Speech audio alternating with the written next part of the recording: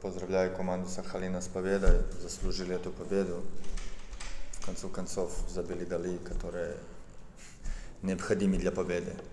Мы свое не использовали, были пару моментов, но в целом по игре, если разделять какие-то ну, время на поле, если разделять, мы сегодня уступили во всем сопернику, поэтому в целом закономерная победа.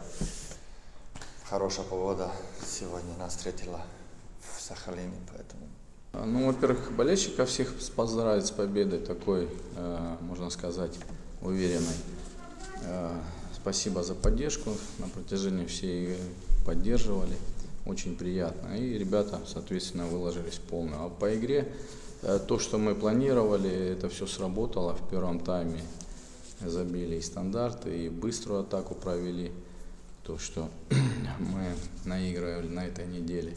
Ну, а второй тайм уже сыграли по счету, по результату. Хотелось бы еще, конечно, э, забить, но скамейка не позволяет пока, пока не позволяет. Поэтому э, всех с победой.